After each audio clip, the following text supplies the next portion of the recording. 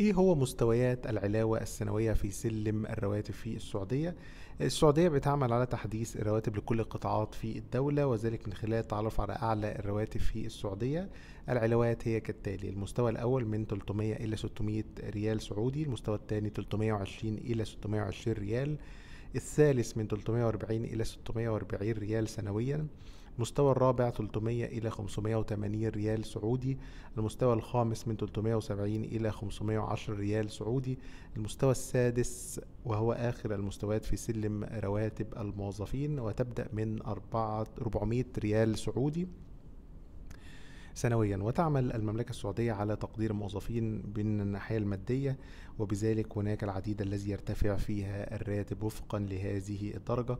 فده العلاوة السنوية اللي بتحقق فاحسب الدرجة بتاعتك والأرزاق على الله وربنا يوفقك ويكتب كل خير. كان معكم مصطفى عطية استشاري التدريب والتطوير كارير كوتش. لا تنسوا الاشتراك في القناة لمتابعة كل جديد.